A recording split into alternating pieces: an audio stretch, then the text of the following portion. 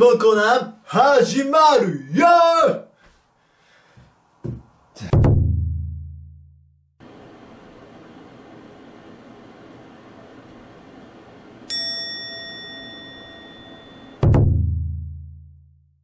まあ一番っていうのはね、ちょっと難しいですけど、会ってみたい方たくさんいるから、でも、やっぱりね、パッて思いつくのは瀬戸康史さん。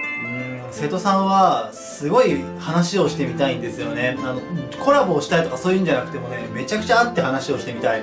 ぜひお願いします。付き合ってみたいっていうのはお会いしたことがないんでわからないですけどこう顔を見てああ綺麗な方だなってこう拝みたくなるのはゲーム実況のロアさんとかあとはモエリンさんとかですかね。これ難しいっすよね。これこれ結構考えたんですけどあんまり思いつかなくってつかなかったですけどイメージですよ。俺ほとんど YouTuber の方お会いしたことがないんでイメージですけどえっ、ー、と水溜りボンドのカンタさんとかかな。なんかすごい真面目で誠実そうなイメージがありますね。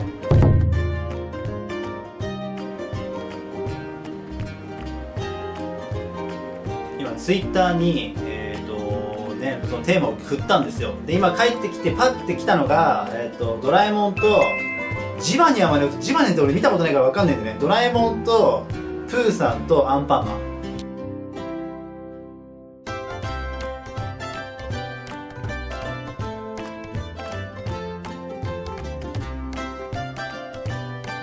できた。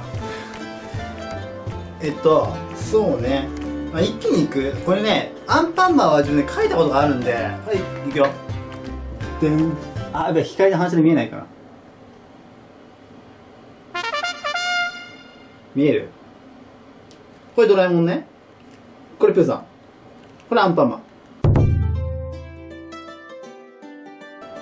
去年バスケットボールね、あの、お願いしたんですけど、ちょっともらえなくて、今は、MacBook かな。おい、もう準備しなきゃだろ。ほら、起きな。あんまり女優さん詳しくないですけど、なんか見ててね、雰囲気とかで、あ、いいなってちょっと思うのは、土屋太鳳さんかな。入らないんじゃなくて、入れないの。これは女性だけじゃないんですけど、あの、例えばみんなだったら教室とかでゴミが落ちてるとするじゃないですか。で、それをすげえさりげなくもうさって拾ってパッて捨てるみたいな。誰も気づいてないみたいな。のをたまたま目にした時とかにうわ超素敵って思ってすごいキュンとするそういうの。うん。まあ男でもねうわかっけえって思うし普通に。であとまあ女性限定で素直にこうキュンとするのはやっぱり笑った顔かな。笑顔が好きですねつり理系です。これね YouTuber の方すごいやってるよね。でもさ主に女性じゃね？これやってるの。まあまあまあせっかくなんでねちょっとやってみようか。はい。これか。で自分あんまりなんかいっぱいあったダウンロードしてアプリ入れたんですけどいっぱいあったんです。けどなんかあの何？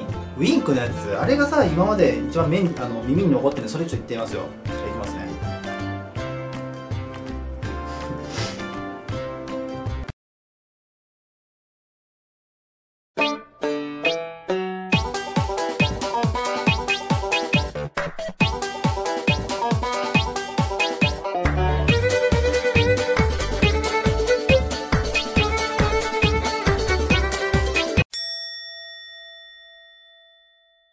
はい、ということで、いかがだったでしょうか？もう すごいね。もうなんか体力の全てを持ってかれた気がしますけど。で、あの、今回、まあ、質問とかリクエストね、たくさんいただきまして、本当にありがとうございました。で、結構こう、勉強系の真面目なものもたくさんあったんですが、それはまあ別動画で、まあ、答えている形に取り、あの、しますので 今回はちょっとふざけたというか、あの、エンタメなのかな？わかんないけど、そういったものにさせてもらいました。で、最後にですね、えー歌ってくださいが、えーと、すごく多くてですね。でその中で曲名を書いてくれた方が何人かいらっしゃったんですけどその中でまあちょっと知ってるやつボカロなんですけど最後ね、えー、歌ってそれを終わりたいと思います。耳が腐る可能性あるからここで切った方がいいかもしれないけどね。はいということでまたこんな動画は来年1年に1回なんでね2017年にこの全ての恥を置いてって2018年でお互いにいいスタートを切れるようにしましょう。本当にここまでお付き合いいただきありがとうございました。さよならはあなたから言ったそれなのに頬濡らしてしまう。のそうやって昨日のことも消してしまうならもういいよ。笑って